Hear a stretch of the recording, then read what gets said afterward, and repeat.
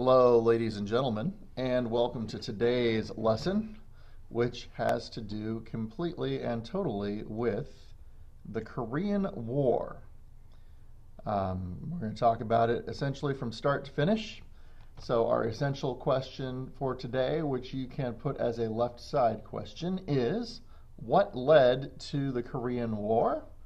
Uh, and just so you know, uh, the Korean War lasted from 1950 until 1953. So let's go ahead and have a conversation about that. Uh, the picture there, you are now crossing the 38th parallel. Uh, before the Korean War, the 38th parallel of latitude marked the border between what we now know as North Korea and South Korea. So again, you do not have to copy down every single note here, but I would like you to get the gist of this. Uh, after each slide, I will basically tell you the most important things.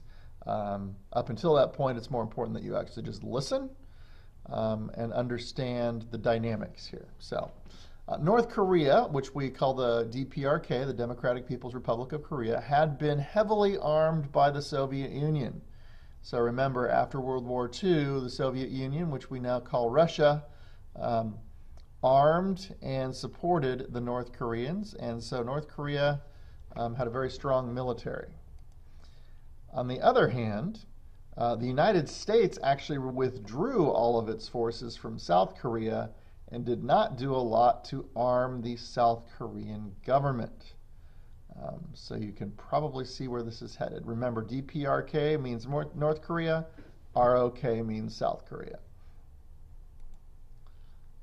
So on June 25th, 1950, North Korea, with the support of the Soviet Union, basically saw an opportunity and invaded the South um, with the support of the Soviet Union and the newly communist Chinese government. So China is just to the north of North Korea. So although uh, at this point Soviet and Chinese troops were not involved, um, they offered lots of support to the North Koreans in the hope that they could unify the Korean peninsula and create it as a communist country. So the United Nations, two days later, um, with the U.S. in the lead, authorized forces be sent to South Korea to repel the invasion of the North. So two days later, uh, the United Nations joined the fight, although over 90% of the troops from the United Nations were actually from the United States. So it was uh, essentially the United States fighting and the United Nations basically giving it the thumbs up, saying, yes, we support you doing this. We'll send you a few um, symbolic troops of our own, but really, if you want to do this, go for it. Uh, unfortunately for the South Koreans, before the U.S. reinforcements could arrive, um, the Republic of Korea forces, which were not very well equipped, were pushed back to a very, very small portion of South Korea on the very southern coast of the peninsula. Uh, and I'm going to show you some graphics of that on the next slide.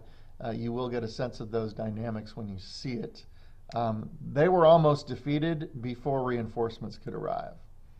Uh, in fact, that area was called the Pusan Perimeter. Uh, the North Koreans were extremely effective, and in a very short space of time, um, the South Koreans were back on their heels. So um, I'm going to go ahead and do my pause right now. But on the next slide, you're going to see what the Pusan perimeter looked like and just how close South Korea was to losing this war.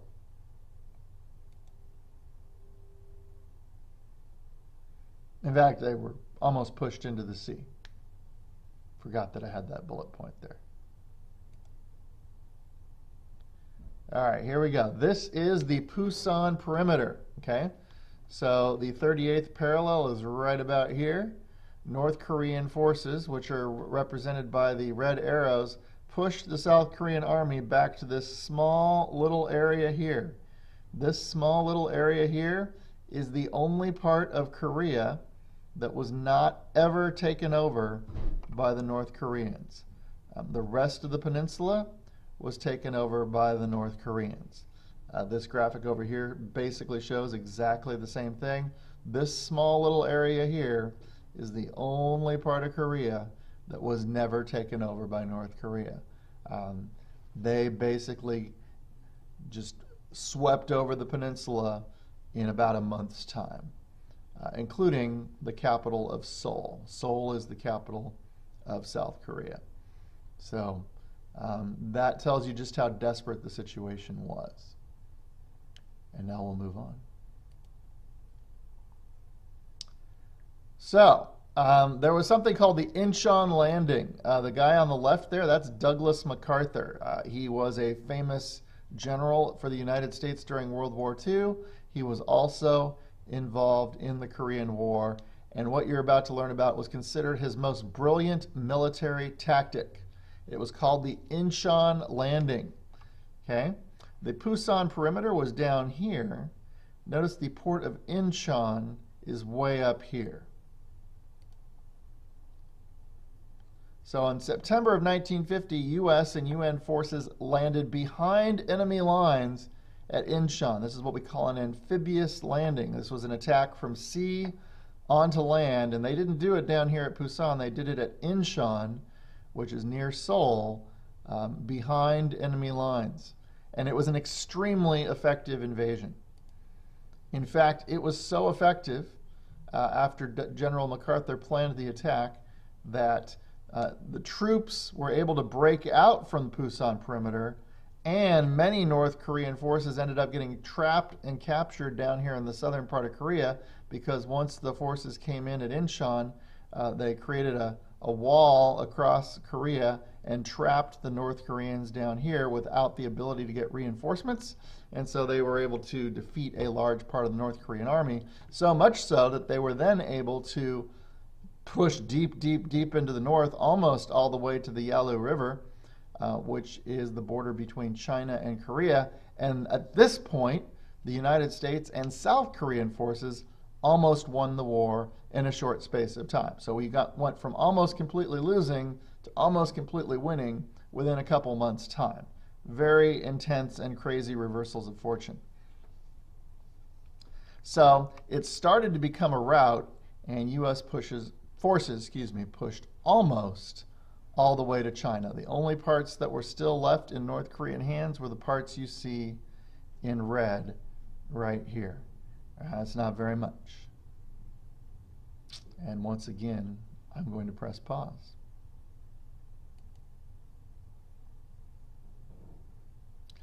So, what happened when China joined the war? Yes, ladies and gentlemen, there was yet another wrinkle in this uh, story.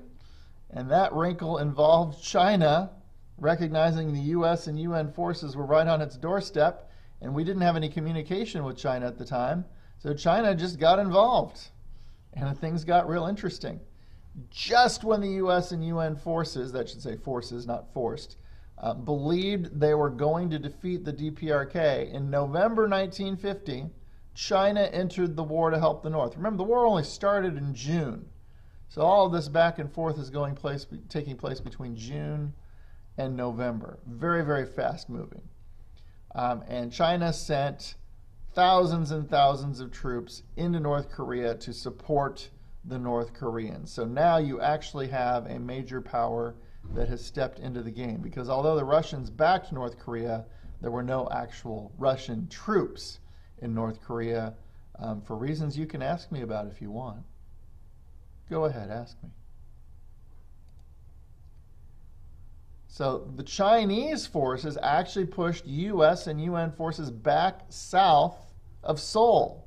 Okay, this was the 38th parallel. This was the original border between North and South Korea. At this point, the Chinese and North Korean forces actually pushed um, the South Korean forces and the American forces down to this line right here which is south of the capital. So the capital changed hands once again.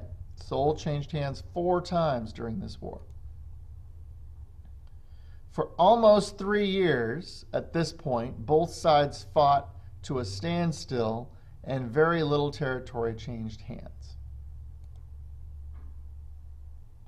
In fact, both sides ended up, after the four years of this conflict, not very far from the original border of the 38th parallel. This right here is the line where they finally ended up facing off. So the South Korean forces in the U.S. managed to retake Seoul and push back to about here. Um, this was the original border right here. So a little bit of South Korea got in North Korean hands there, and a lar- slightly larger chunk of North Korea got into South Korean hands here. Uh, but other than that, um, the entire war was fought, and in the end, the only land that changed place was this little bit right here and this little bit right here. Um, a lot of people died, and a lot of money got spent, and a lot of bombs got dropped for not a lot of change. So, how did this bad boy end? We're going to answer that on the next slide. How did the Korean War end? I, I had some fun with this slide. Uh, what you see here is a picture of the Armistice Village at Panmunjom. And this is actually where the peace treaty was signed. They've built these buildings at Panmunjom so that uh, each side can actually talk to the other side because they don't actually have direct communication, except for this village.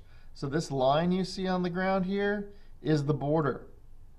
This is the Republic of Korea, South Korea. This is the DPRK, North Korea. And literally they face off against each other like this. These are South Korean troops right here. These are North Korean troops right there. And they'll stand right on the line. It's a very intense, bizarre, and interesting situation. See, these are North Korean soldiers right here, and that's South Korea in the background. So, an armistice was finally signed and it ended the war in 1953. But as we're hearing in the news all the time, this was not a peace treaty. Both sides are still technically at war with each other, even though shots are not officially being fired. Okay? So there has never been a peace treaty to end the Korean War. So at the village of Panmunjom, which is in the picture here, um, both sides still face off across a line on the ground. And obviously that line is very visible to you in the picture. This is the literal border. And if you go inside those buildings, there are tables and there are, wires and microphone wires on, on those tables across which the sides speak to each other, but they never cross to the other side of the line. Ever. So the DPRK is in the foreground, meaning the front here, and the Republic of Korea is in the background. Actually, that should be reversed.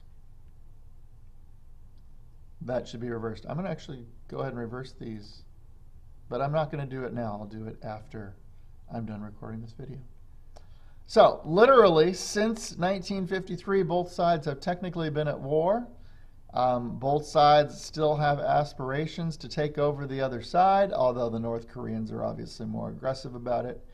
And um, so, for the rest of this kind of discussion unit on uh, North Korea, I'm going to tell you how things have escalated to the point where they're at right now in the year 2017 uh, between President Trump and Kim Jong un. But this is the historical background. It is now time to write those summaries at the bottom of your notes, ask Mr. B some questions, and uh, stay tuned until next time for what happened when the Korean War once again became a Cold War. And with that, this is Mr. Blommendahl, ladies and gentlemen. Once again, you know what's coming next. Signing off until next time on the Waldo Middle School Social Studies YouTube network.